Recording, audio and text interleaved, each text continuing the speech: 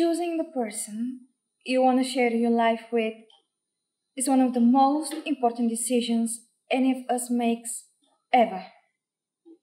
Because when it's wrong, it turns your life to grey.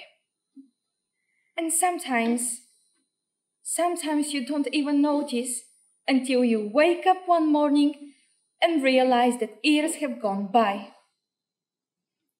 We both know about this one, Alex. If friendship has brought glorious technicolor to my life, it's been there even in the darkest of times. And I am the luckiest person alive for that gift. I hope I didn't take it for granted.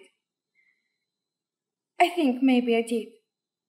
Because sometimes you don't see that the best thing that happened that ever happened to your life is sitting there right under your nose. But that's fine too. It really is.